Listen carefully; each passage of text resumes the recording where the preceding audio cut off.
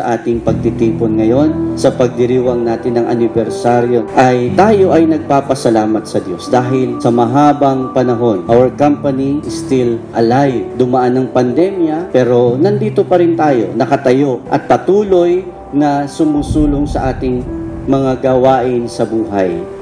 It is not because dahil malakas tayo, no?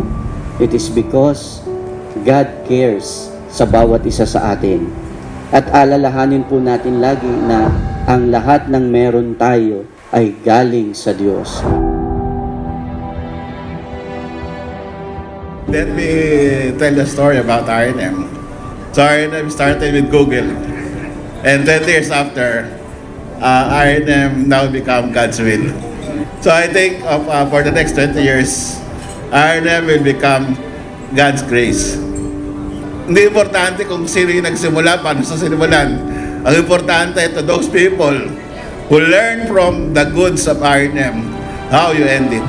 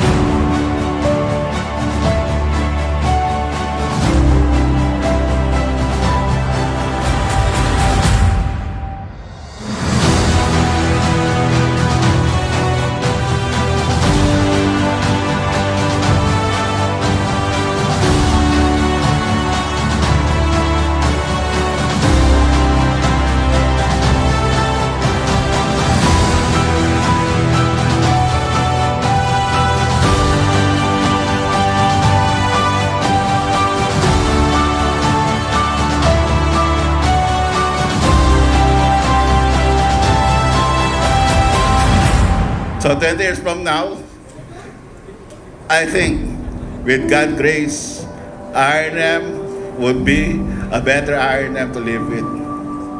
We already made that SRB and the rest of management have done the grassroots of really bringing good people to you. And it's up to people who, who are younger than us to continue this journey. And, and I think by doing that, we'll have a better world in this, uh, in this country. Thank you very much.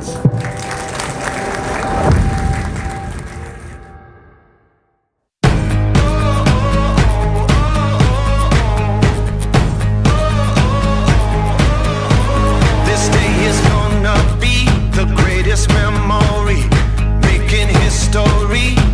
Let's go.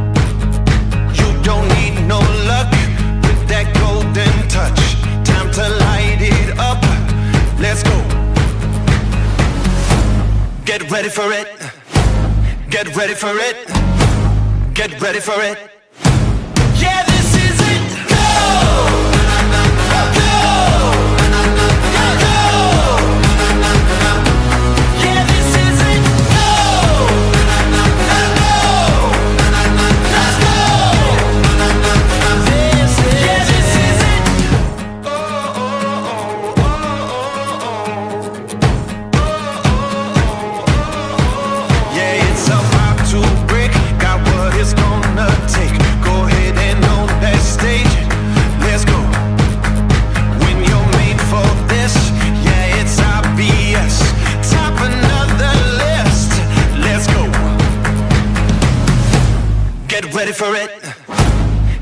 For it.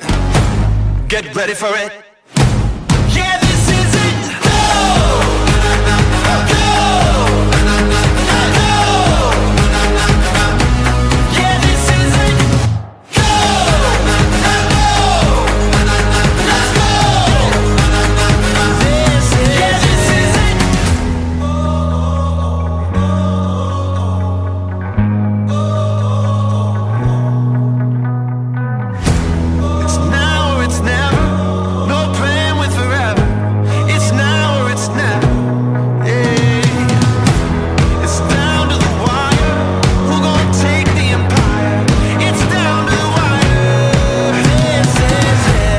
Get ready for it.